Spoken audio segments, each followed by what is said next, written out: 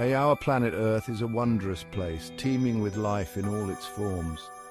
But have you ever stopped to consider what makes this life possible?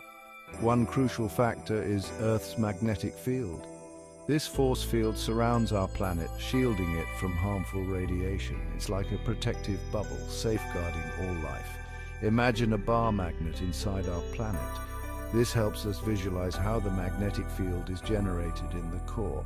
The core is a hot, dense ball of iron and nickel. Movement of this molten metal creates electric currents, generating the magnetic field. This field extends into space, forming the magnetosphere. The magnetosphere deflects solar wind, protecting our atmosphere. The magnetic field changes constantly in strength and direction. Understanding these changes is crucial for scientific research. The sun, while essential for life on Earth, also poses a constant threat.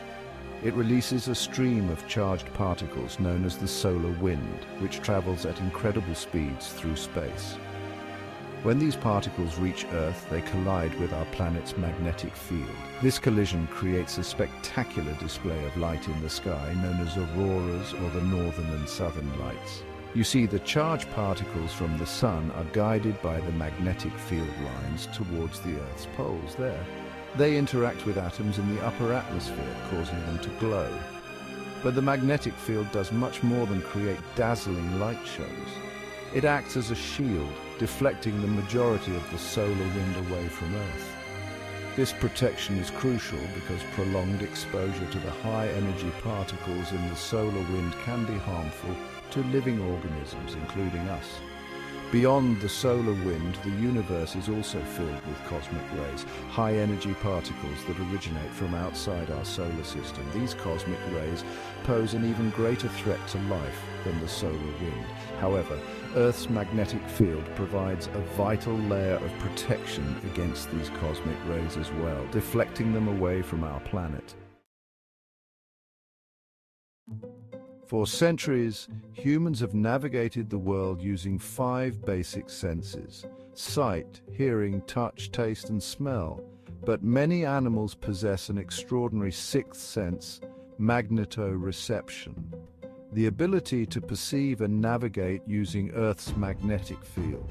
This hidden sense allows them to accomplish incredible feats of migration and orientation. They possess an internal biological compass that allows them to perceive the Earth's magnetic field.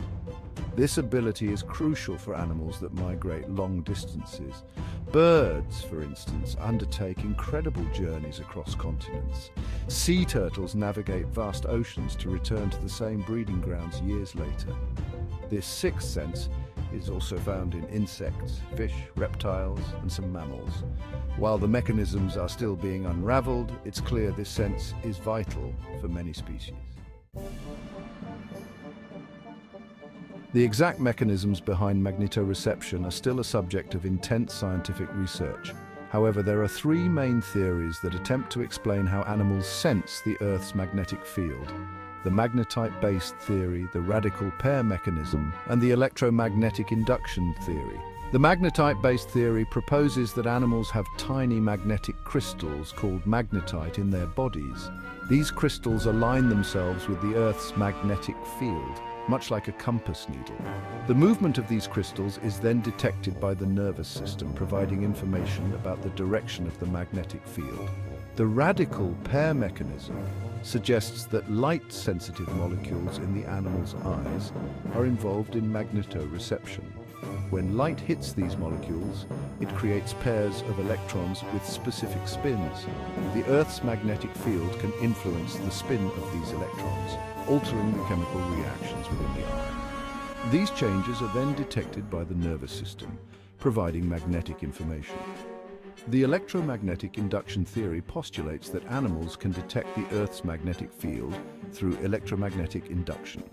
This theory suggests that animals have specialized cells or organs that act like tiny electrical conductors. As the animal moves through the Earth's magnetic field, it induces a small electrical current. This current is then detected by the nervous system, providing information about the magnetic field. Thank you for watching.